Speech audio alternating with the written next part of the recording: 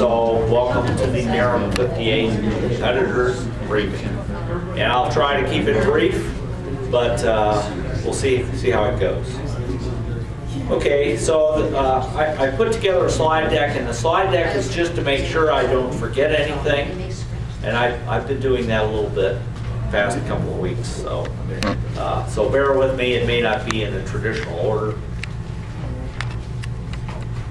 Use the mouse. All right, first topic, uh, range duty. Uh, It, it is a little bit of a light uh, turnout year for NARAM, so we kind of need uh, everybody that we have that's competing. So if you're assigned to range duty, uh, we want you to show up for all your shifts, and we'll decide whether or not we need you. Like some, some, some of the days, for instance, on the multi-round days, where we just have one multi-round event, uh, if you're a timer, we still want you to come, or, or uh, no, returns, what I'm thinking. Return, if you're a returns person, we still want you to come, because we might need you in timing. Uh, We, we have kind of, kind of a short list of timers this year. Uh, So we'd like you to show up for range duty a little bit early, you know, in order to allow for a transition. Uh, Especially if you're inexperienced at this, uh, you know, show up and, and kind of get the lay of the land before you uh, uh, start your shift. Okay. All right, weather. Uh, We do have uh, a forecast of unfavorable weather tomorrow. There's a forecast of thunderstorms. Uh, So we don't know exactly what we're going to do. Uh, I think the forecast currently shows uh, a high probability in the morning and it's supposed to taper off.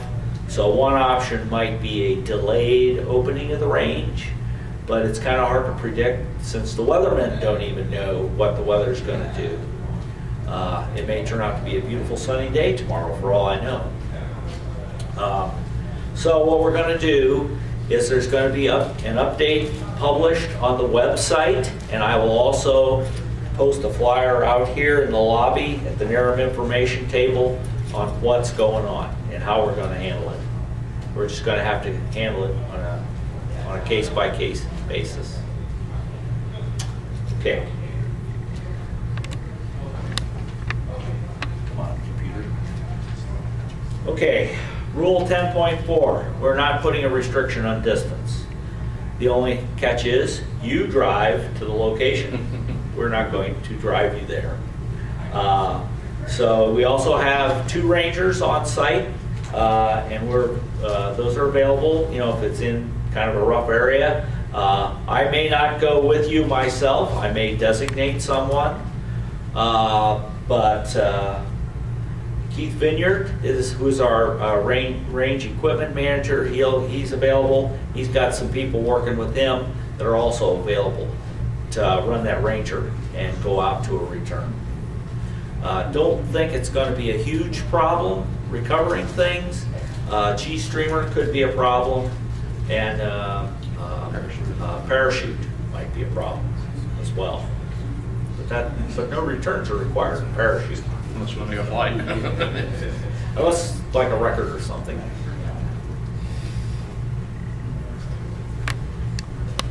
Range safety, you want to take over at this point, Chad? I could be The arcs? Safe out there. You have to be safe. Uh, for those who don't know me, my name is Dave Fitch. Nice haircut. Hey, you owe me a Guinness. yeah, that bet never happened. Anyway, um, range safety. That's a normal setup range for an airman. There's 18 pads in an arc. One thing we did that Ryan Coleman tried to do two years ago, it, that people kind of ignore it, and I, you don't think about it. We have two arcs beyond the standard 18 pads arc. And the red painted arc is at 30 feet, and the orange painted arc is at 15 feet. And the two things is when you're walking out to your pad, if you're on nine, stay outside of the appropriate arc as you walk around. Don't walk right next to the pads because guess what? That might be flying. Uh, the other thing is, you know, when you raise your pad, if you're standing right by your pad, that's cool and everything, but back up behind whatever arc is appropriate. Obviously, the, the, the red arc is going to come into play tomorrow is with a streamer, and on Friday with E scale, and if anybody's, you know, doing E or above in their PMC. Is anybody doing cheese in their PMC? That'd be really cool shred to see. Get you nominated for something else too. Um, John's got three rails available out there. Um, the other thing is uh, with the timing pins, uh, pads 1 and 18 are good to go, except for G Streamer. We have to clear the first three to be at 30 feet from the timing pin. So pads 1 through 3 and 16 through 18 are spot landing only. For G Streamer tomorrow, you can only use pads 4 through 15 because of the safe distance. Otherwise, you're going to have timers running into, they're going to be timing a model and having a model go up right in front of them. So those, those three on both sides of the arc are off limits for G Streamer. And since we won't have timers hopefully on Friday, because hopefully we're not finishing all the events on Friday because of weather, you know, that will be an issue on Friday. Um, John, as we've laid it out, and it wasn't really perfectly marked, but parking. Um, the contest range faces east. And when you're under the tent at the LCO table, it's facing east. So basically, we've got a line that runs east and west of the, the tent, and, and you can't park south of there because your general wind direction, although it's not going to be tomorrow, is going to be from the southwest quadrant. So this line, everything south of this line, you know, the line that goes through the contest tent, no parking. Park up the hill towards the entrance and many rows back. Also, there's been people parking on the other side, like right next to the contest tent. Immediately north of the contest tent, you can't park there. We're not going to let people park there. So if you park there, we're going to move you, one way or another. We'll have that marked off in the morning. Yeah, oh, they're going to have it marked off, so. Don't cross the gate. Or you'll be blocked in by a dead cow. Yeah, My cow just dropped on you. Um, Or be eaten. There's other thing with the ceiling issues. If it, if the clouds are rolling in low, we're not going to be able to put up those high power, those you know high performance, you know 5,000 foot G streamer models. So we will wait, or you know you just have to wait until it clears. We get you know breaking the ceiling or whatever. Um, as far as any kind of you know definitive plan, it is when it's clear to fly. Uh, obviously, spot landing. If the ceiling is too low for spot landing, what the heck are you flying in spot landing? so. Um, but yeah, we should be good to go on that. Other than the ceiling issues, uh, the airport weather app that I, I've been using is saying uh, overcast tomorrow, but the ceiling at 9,000. So that's not an issue as long as they put a guarantee behind that 9,000. It will not go below that. So we'll just have to take that, you know, play that by ear. But that is one concern. We're not going to fly if the ceiling's too low. How do I change this thing? This high tech thing. Ready for the next page? For, Uh, what's the yeah, next page? I can uh, do the qualification stuff. Yeah, you want to do the fall, I don't, I don't think I have a slide for that. I got to return, so I- I'll cover that. Okay. All right. Um, since I am thankfully not Dave Fitch, um, I, I am Chad Rainier, head RSO. Uh, the four RSOs this year are me, Rod, um, out here, uh, Guzik, and Matt Steele.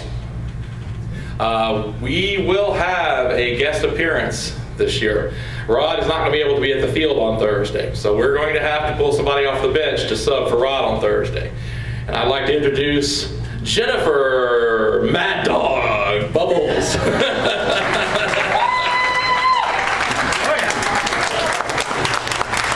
So don't make her mad early in the week, or you might have to pay for it on her day range shift. so, um, as far as the qualification stuff, just go over that kind of quickly. It's pretty much the standard of what we've done before. Uh, event by event is um, spot landing. You know, as long as it lands safe, it's good to go. There is no requirement for anything specific to be in the model, like a parachute, a streamer, or anything. It can be nose blow, it can be tumble. It has to land safe, and it can't eject on the ground. Just basic common sense on that one. Uh, G streamers, uh, as well as parachute. What's a deployment? Well, we want to see something out of the tube. If it's completely down in the tube, it's going to be a no deploy, DQ. As long as the parachute or streamer breaks the plane at the end of the tube and is out in the airflow, we're going to qualify it. Now, what if we can't see it? Um, so it's like a G streamer. Well, we're going to listen to it, and if any, nobody else sees it, we're going to give you the benefit of the doubt and go ahead and qualify it. If it's found later crashed into the ground, be an honest competitor, come back and go, you know what? That can't be flight points anymore, and, and do that. But that's the only way to do it other than just impounding every rocket, and that would get ridiculous. Um, that's probably all for G-Streamer. Um, D-Rocket glides Tuesday. Uh, D-Rocket gliders, as long as it stays above the horizontal during boost, we're good. But with this, you know, D motors, if it's arcing over and it's thrusting downward under boost, that's unsafe boost. It's going to start coming downward. George, What if that happens to a scale model it's going to get DQ'd as well. or a plastic model? Yep. Unless, unless there's something specific about it, uh, yeah, any, any motor thrusting down, or thrusting downward under, under phase is unsafe. Yeah, We're and horizontal up, you're good. Now, if glider's getting way out there and it's kind of looking like it, we're gonna give you the benefit of the doubt. We're not gonna go, oh, you're 0.7 degrees under horizontal. But uh, as far as what's a glide, if at some point during the flight it's it's doing better than a one-to-one, means it's going more forward than down, it's qualified. If it you know ejects and transitions, it just does a spiral, it's a no glide. So you have to do something just for a moment to get to get your grade on that one. Uh, Wednesday, Super Rocks, pretty self-explanatory. Um, you can't use carbon shafts or stuff like that for your Super Rock. That's in the rules. Uh, they're, you know, they will be measured to the nearest centimeter and then flown and brought back with the altimeters and, and opened up. It's a pretty clean, clean event. Uh, helicopter, the same thing as always. It has to do one rotation some point in time around its roll axis when it falls down to the ground. So it doesn't have to super spin, but it has to at least do one, one full rotation to be qualified as a helicopter. Parachute, as like I said, it just has to clear the tube. So it has to be part way out at least to be qualified for parachute. And Friday, scale altitude is scale altitude is just going to go up there. I mean, it has to recover safely. And PMC, uh, if it hits somebody, then we'll take into account who it hits. We'll determine, we'll determine whether you're qualified. Uh, there are certain people that are, that are earmarked already that if you hit them, even if you were last in static, you win the event. Are any of them wearing blue shirts? So, anybody got any questions? That's pretty much the standard, nothing's new. Uh, John's going to give you the, the special NARAM rules. I should take more than a half an hour to go through all those. Come on, that was funny. Um, anybody any questions? It's pretty much the norm. The newbies and going, hey, okay, that's it, and everybody else has heard the same thing. Yes? In the unfortunate event that the scale object is lost, I know you need returns, would you still get plate points or no? Yeah. You would get you'll get zero for your altitude score, and you'll get maximum damage points because you can't be judged for damage, but you would get you would still get flight points. It's qual- as long as it's qualified. So, and that will happen on a few with this high altitude event. There will be a few scale models that do not come back. So, anybody else?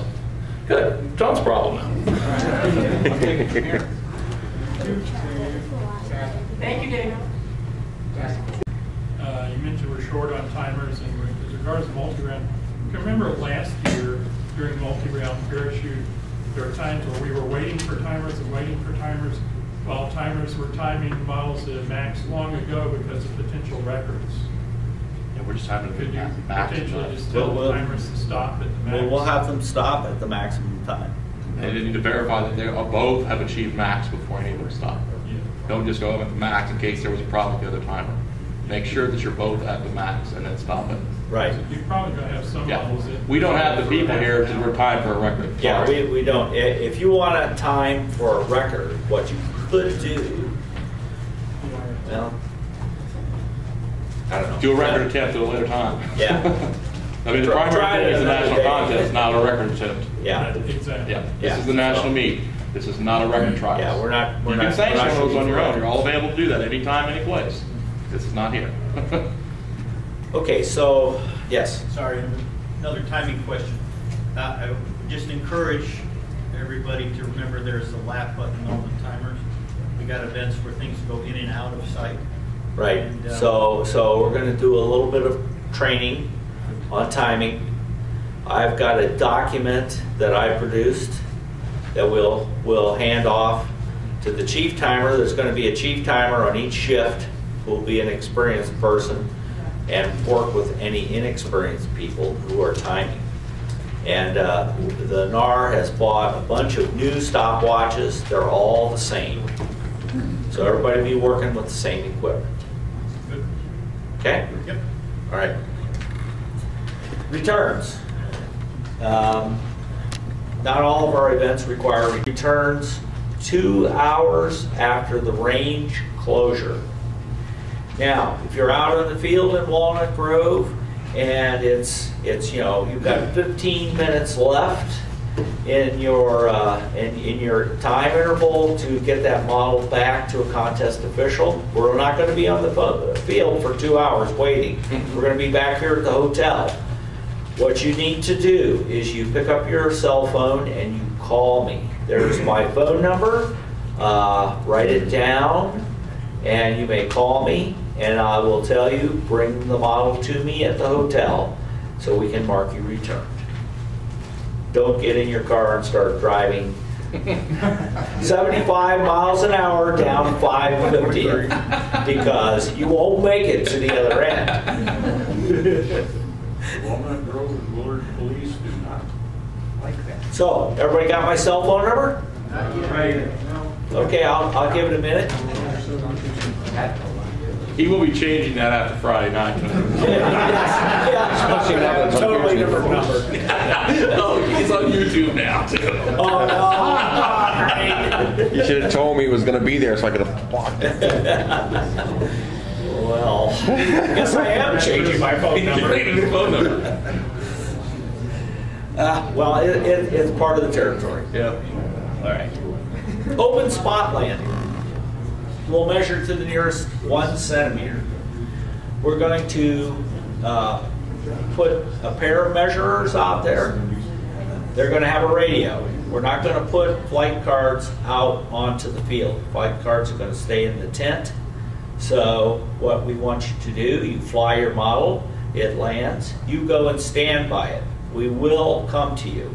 Maybe not necessarily in order, but we will get to you. We'll try and do it but we won't promise.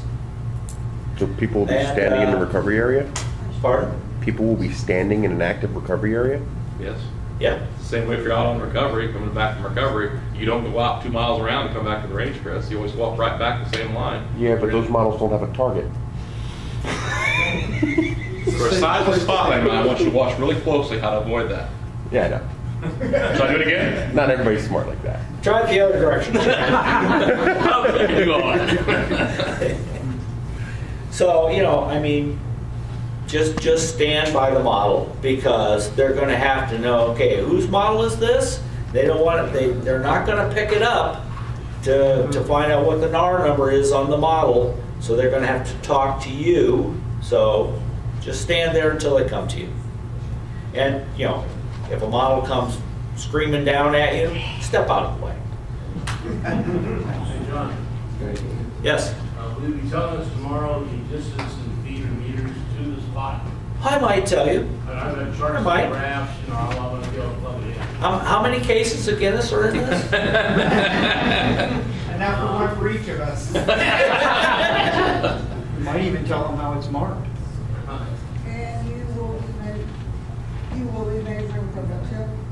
Nose cone. Tip of the nose cone. So make sure your nose cone is pointing at the spot when it lands. I find talking to your model nicely the night before does help. You, you might want, well, you know, tip of the nose cone could be hazardous to some of the measurers. There are some big brown things out there. And I've been known a couple of times to stick things into them. It gets measured to that. Yeah, it gets measured to that. Now, I'm just gonna have to deal with it. Um, okay, let's see here. Did I miss a slide? No, I didn't. Okay, range closing.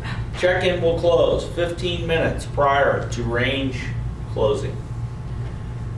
If you've checked in your model and you're on the pad at range clo- closing, we will allow you one attempt to ignite your motor and get your flight off.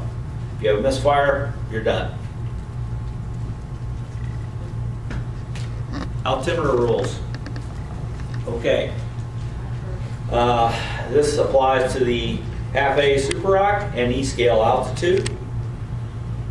All models need to have the three vent holes.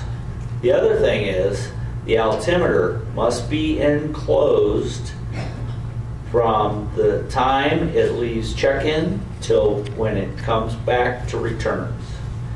If the altimeter comes out of the model, uh, it will be a DQ for, uh,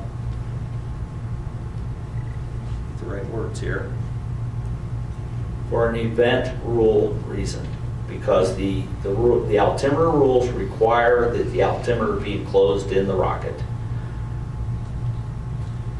For the whole, whole flight, yes. If the altimeter has to be removed before you fly, can you simply recheck in? Yeah. You know how some you have, you don't want to turn it on Yeah, I mean, you know, you, your, your check-in procedure is gonna require you to go through the procedure for that altimeter, okay? Then you put the altimeter into the model and close it up. But I'm saying from that point to launch, if it has to be open for some reason, it's not a DQ. They can recheck Go in. back and check it. They- Yeah, they can go back to check it, yes, correct. PMC, scale, and static judging, remember to include that required data table and photo. Turn-in deadline tonight, 10 PM. What room? Is that Ozark? Uh, Ozark A and B, sorry. Upstairs. It might smell a little like beer in there, don't, don't let that concern you. Yeah, The hotel was nice enough to put brand-new carpeting into that room, and we initiated it last night.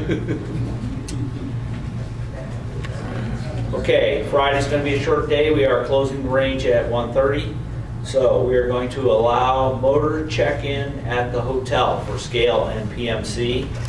That will occur during the public viewing session, uh, where the, where we open the doors up let the public go in look at the models. So we would give you the option, we'll have a contest official here to check in motors. And it's gonna be a short day Friday.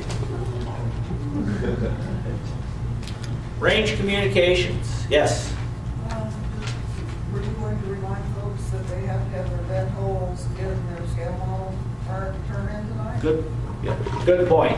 Um, When you turn in your, your E-scale altitude model, the vent holes must be installed in the model.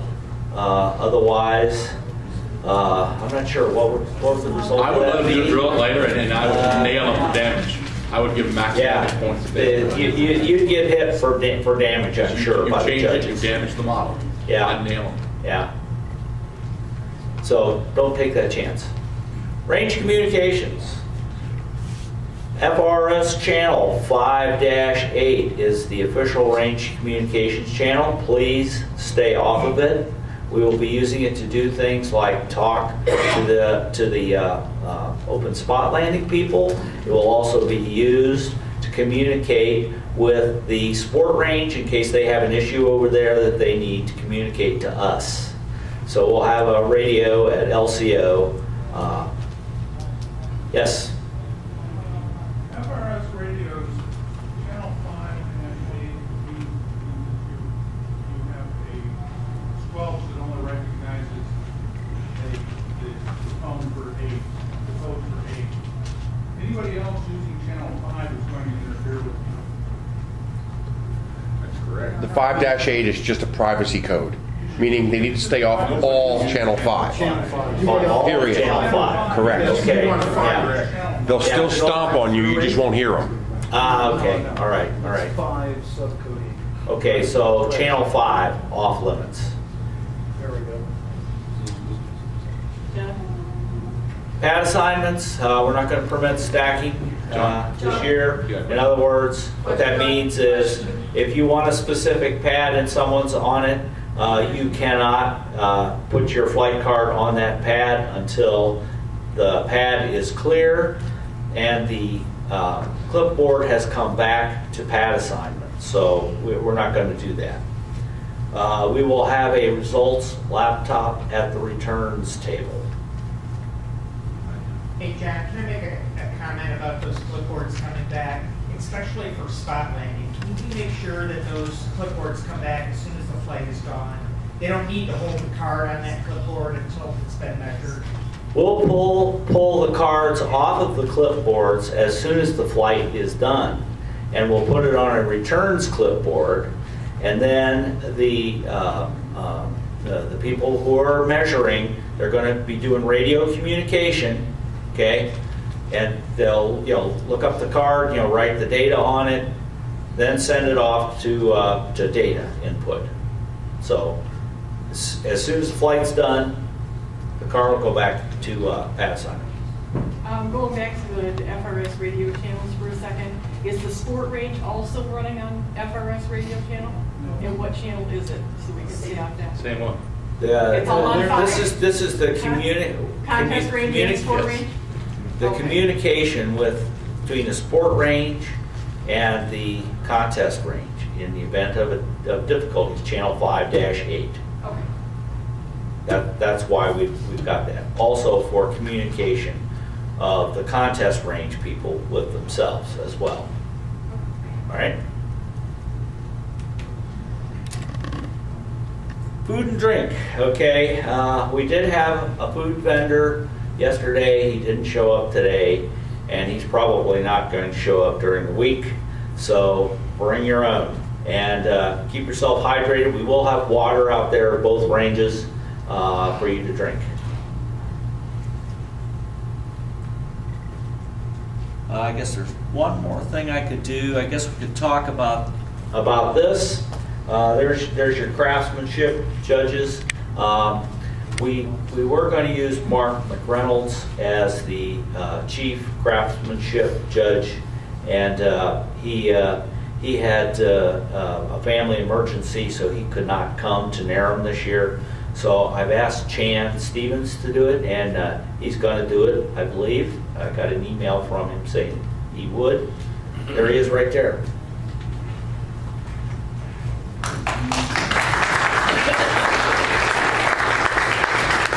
And we got it, Steve. The other judges are Chris Flanagan, Rob Justice, Steve Christal. I haven't talked to Steve yet. Hopefully, he's, he's willing to do that.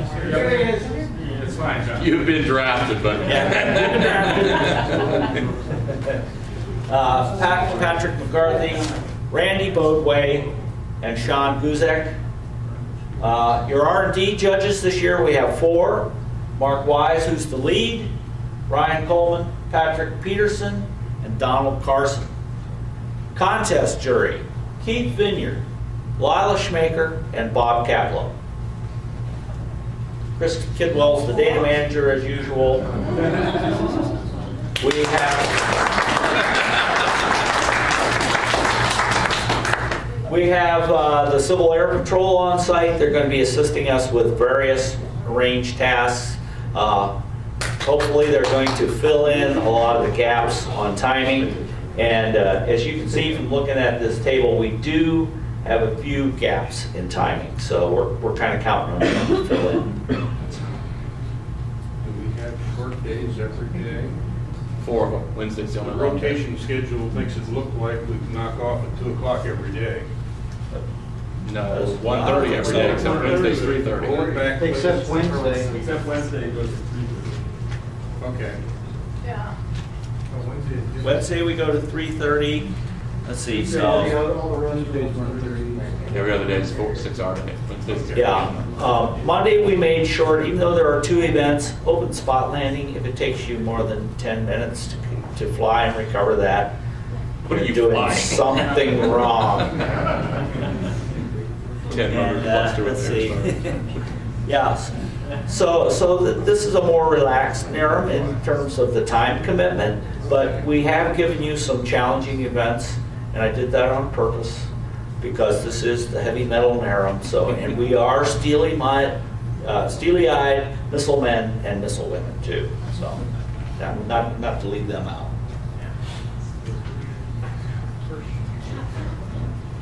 Questions?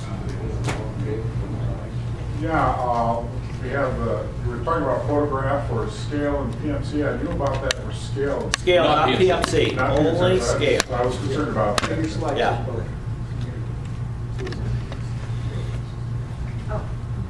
In the event of a sub five thousand foot ceiling on, uh, on scale altitude day, uh, or, or is the event going to be judged by static? Nope, absolutely not. Will not happen this time, Well, it'll be judged by static points. but no contest points awarded. We will give awards, but there won't be points. Got it. Book book clearly says it must make a safe, stable flight. Well, you never, if you never launch it, you didn't make a safe, stable flight. The magazine articles, Ah, magazine articles. Now you gotta act like Tom. Oh, let's see, I gotta remember how Tom meets Doc. You. Now, people, I have a magazine to produce, and I'm here to twist your arm. Oh, so, oh, it's already set up, hang on. Brian said it's already set up. Tom contacted people because I'm writing to Rock. Yeah, I'm Oh, right now, okay. they super roc. Oh, Taken care of. There, are I don't know if well, he got all of them, but he got some. he didn't get all of them, there are some openings still. And I didn't bring the list with me. Why don't you just run through it and see who's here? Okay, who's writing articles for Sport Rocketry? Hold your hand up. One, two, three, four, five, six. Last two guys. Who's got, who's got spot? We may need somebody for spot. Yeah, so I think we need somebody for spot landing. I have, I have a list which I forgot to bring with me. I had to forget something, and that was it. Does anybody want to do spot? Uh, nobody wants to take the technical event. Three of them, Western Two with two engineers start. I saw G Streamer. Uh, G Streamer, Ro- and who said Rocket Glide. Rocket Glide, Super Roc, right? Super Roc. You're Petey, who's helicopter? No, no Yeah, we don't have helicopter? anybody for, are you helicopter? Uh, back to the low ceiling on scale altitude, what if we configure the model to fly under the ceiling? That's fine. Okay, I thought we were just gonna like outright call the event and not allow them to fly. Well, I mean, is that figured out on Friday with, I mean, you know, we can't give a solution for a 3,863 foot ceiling and another solution for 3,932 foot ceiling. It's gonna be what it's gonna be. We can fly it, or we can fly it, you know, some of it, I don't know. I'd love to figure out the solution to that. We'll have to see what the ceiling is. I Yeah, mean, Or whether models can be. My tuned. inclination is, if, if the ceiling is under five thousand, we should not fly it. Unless you can demonstrate that your model is going to be under that. ceiling. Yeah, that's what I. Going up going to the ceiling is not flying it. Can you do, can you detune it, detune it? Yeah, but it should be, in the flyer to demonstrate that we will perform under the ceiling. You can't just not allow us to fly because there's a fear we might poke. That's right, that's right, Shannon. It's like anything with a waiver launch. You can't, you know, if you got a high, if you got a model close to a waiver, you gotta prove that it's not gonna bust a waiver, same thing here.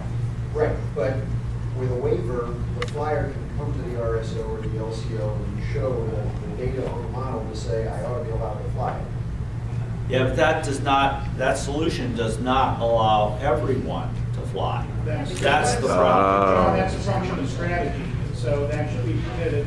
If you can show that your model's going to be under the cloud depth, right, when it flies, for example, you may choose to fly an Estes E98 in the model instead of an Aerotech or Apogee E68, and you can show that your model is going to be under that cloud depth, then you should be allowed to fly it during the event. That would be similar to choosing not, We should approach it. All right.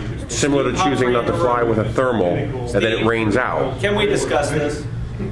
Why don't we discuss this later in the week I think we and need to post it discuss as it. judging, all right? Graphic I- I'm, view. I'm not gonna commit to an answer. Nobody right knows now. what the hell Friday's gonna be right now, so. It might be a Thursday- beautiful day. Yeah, Thursday we'll have a good idea of the weather forecast for Friday, and have them posted on the wall when you're in there looking for beautiful models before pickup, then you're gonna know what we're gonna do. This is also gonna be a problem tomorrow for G-Stream.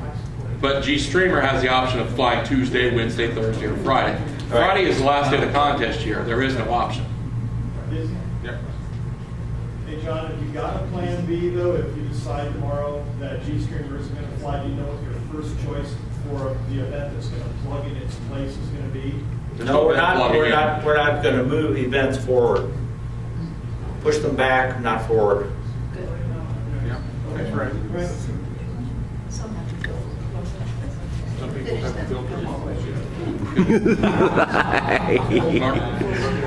Um, If I may, just a point on RNG, because I noticed tonight, okay, um, For those of you who don't, who don't know me, Mark Wise, I'm judging R and D. I've asked everybody who's presented, okay, well, I hate microphones, I can fill a room with them.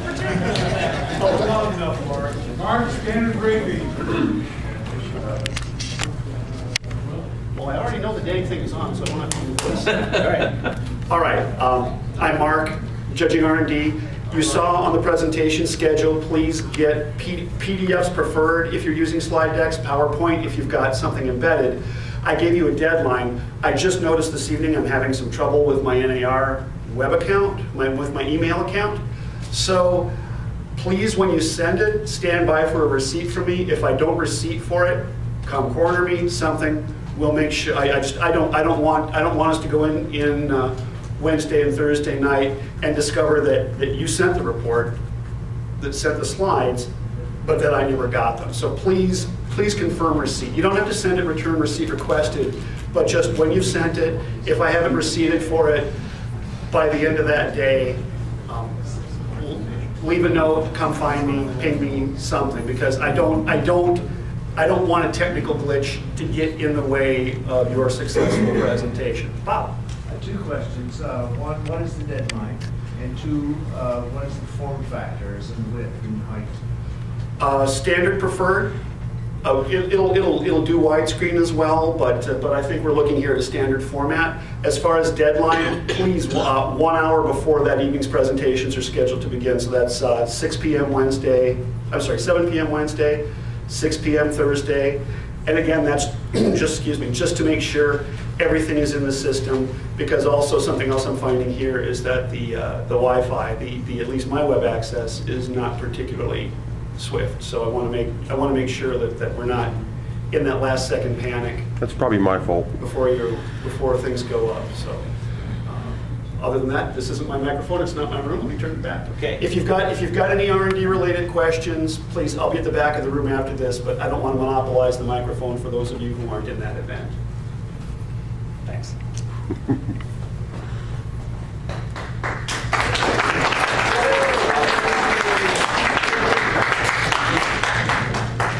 Are there additional questions? Time to go spray, finish spray painting your models. Yeah, time to go turn in your spray, your, your scale models. That begins in 17 minutes. And you have until 10 o'clock to get it done, so. And don't make me come and twist your arm to write an article for Sport Rocketry. Now, Get the dang list up.